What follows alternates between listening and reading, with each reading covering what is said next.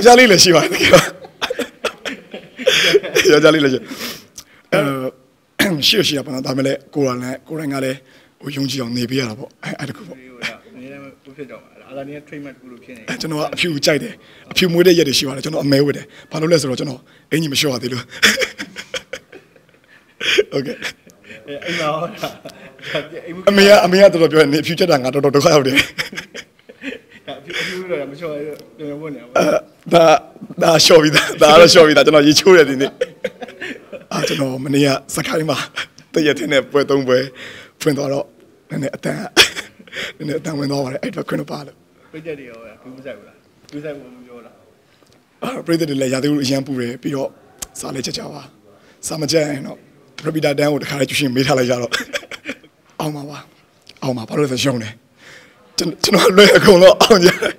ကလေးတွေအကုန်တော့အရင်တော့လည်းမတူဘူးလေအရန်တော်ကြတယ်အောင်ပါပါအဲကျွန်တော် career ကတော့ကျွန်တော်ကျွန်တော်ဆက်လုပ်သမျှပေါ့နော်ပျော်သေးခြင်းနဲ့ဗျာလူတစ်ထောင်ရှိလူတစ်ထောင်ပြောသေးခြင်းနဲ့လူ၁၀ယောက်ရှိရင်လူ၁၀ယောက်ပြောခြင်းနဲ့အဲဒါဆိုကျွန်တော် target ပြည့်ပြီပဲအဲအဲ့ဒါကြောင့်ကျွန်တော်ရဲ့ဟိုပညာဝမ်းစာနဲ့ဆိုင်သွားပြီဗျဟိုလိုကျွန်တော်ဒီအနုပညာဝမ်းစာပေါ့နော်ကျွန်တော်ဖြည့်ရအောင်ပဲဗျကျွန်တော်အများကြီးလိုသေးရဲ့အဲ့တော့ကျွန်တော်အဲ့ဒါတော့မပြောချင်သေးပါဘူးအများကြီးပဲအများကြီးပဲကိုကိုကအဲ့လိုမျိုးလောဘကြီးရဲ့ပြီးအဲ့လောဘကြီးပြီးအဲ့လောဘကိုလိုက်မဖြည့်နိုင် အဲကြတော့ကိုကိုကိုဒေါသထွက်လာတယ်ကြုံတယ်အဲကြအဲ့ဒါတွေကကိုရဲ့ဒီဘယ်လိုပြောမလဲ